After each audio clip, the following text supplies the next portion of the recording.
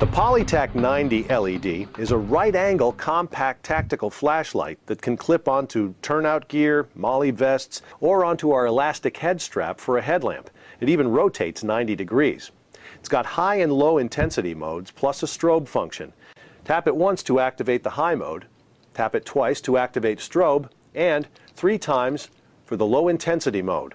Polytac 90 LED includes an integrated carabiner style D-ring for a variety of attachment methods. Also, a fully rotatable, reversible, and removable clip to allow for a variety of mounting positions. Polytac 90 LED is waterproof to 1 meter for 30 minutes.